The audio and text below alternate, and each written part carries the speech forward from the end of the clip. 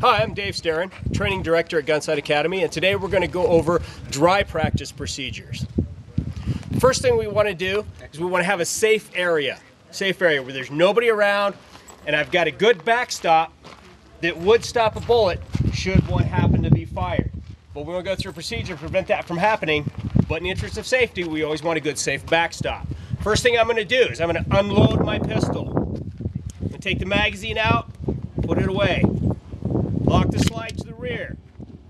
Visually and physically check using two senses to ensure that I have an empty safe weapon. Put it back in the holster. Next thing I'm going to do is separate all my ammunition from me. So I'm going to take all my magazines, all my lab, live ammunition, I'm going to put them over here.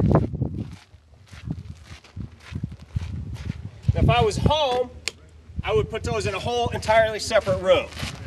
Now that I've done that, I come back here to my safe area.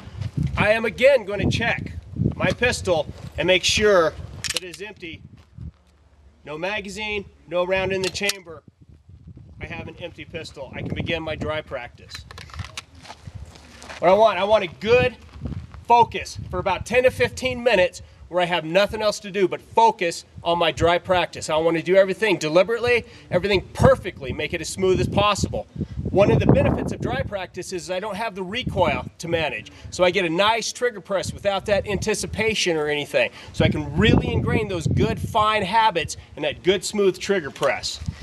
Once I get started, if I have any interruptions of any kind, I stop and I'm done. I don't continue. Should I decide to continue later, I go through the same process again of making sure that the gun is completely unloaded, separating the ammunition, checking it from the last time, and doing my dry practice in a good, safe area. 10 to 15 minutes is about all you want. After that, our concentration tends to drop off and we start to get a little bit sloppy.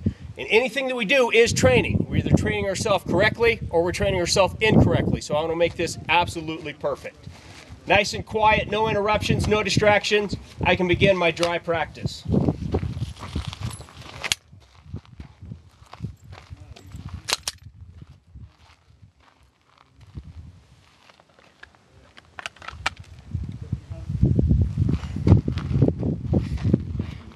Any interruptions, any distractions, stop.